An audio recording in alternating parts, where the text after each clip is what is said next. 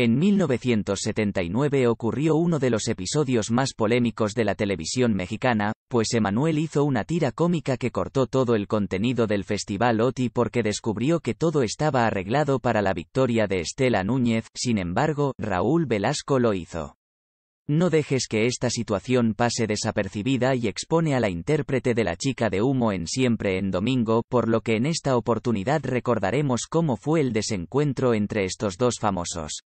En palabras del propio Emanuel, esta desgracia sucedió en su vida cuando iniciaba su carrera como cantante y con el fin de mejorar su reputación, su discográfica lo apoyó para participar en la ronda preliminar del Festival OTI, del cual Raúl Velasco fue el moderador y organizador. La disquera de Emanuel puso toda la carne en el asador y le regaló un tema compuesto por el propio Roberto Cantoral, titulado Al final, que el Rey Azul interpretó con maestría y facilitó su promoción en los primeros rounds. Sin embargo, el cantante reveló que antes de la final descubrió una revista donde se sabía que la ganadora sería Estela Núñez a pesar de que su tema fue todo un éxito.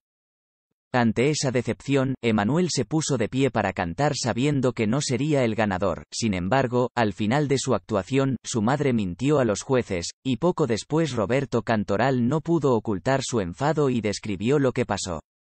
Sucedió como un robo real, que resultó ser un escándalo. Sin embargo, después de toda la polémica que se suscitó durante el proceso de preselección del Festival OTI, muchos pensaron que la carrera de Emanuel quedaría sepultada por las groserías que infligió al jurado, que incluía a diversas personalidades que han tenido mucha influencia en la industria de la música. Esto no sucedió, y dos semanas después de que sucedió, fue invitado en Siempre en Domingo, donde Raúl Velasco aprovechó para crear polémica.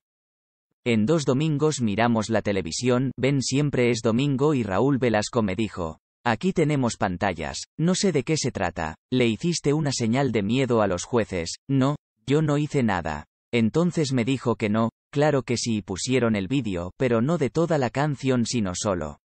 La persona que menciono ya no estar punto sin duda, entonces yo estaba viendo y dije abuelita, la ventana, Emanuel señaló en medio de risas. A pesar de ser exhibido por Raúl Velasco, Emanuel recuerda que pudo salirse con la suya en su presentación en Siempre en Domingo porque negó todo y aseguró que cortarse la manga frente al jurado era parte de la emoción de entrar a la competencia.